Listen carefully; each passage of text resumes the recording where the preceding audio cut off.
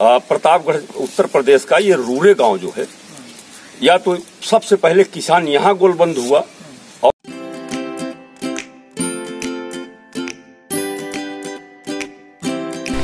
hello everyone welcome back to my channel तो आज हम जानेंगे जिला प्रतापगढ़ पट्टी तहसील के रूरे गाँव में आया हुआ शहीद स्मारक का इतिहास। अच्छा। यहाँ आके यही शादी ब्याह कर लिया अपना और यहाँ बस गए हो। थे वहीं के वो महारानी की आपके गुजरात। बहुत और वो ख्याति प्राप्त किया इससे कि किसानों को खड़ा किया एक माने आज़ादी के आंदोलन में बहुत आ, किसानों को इकट्ठा किया। पूरे देश में माने बाबा रामचंद्र के नेतृत्व में जो किसान यहाँ गोलबंद हुआ तो या तो फिर आपके चंपारण बारडोली हाँ।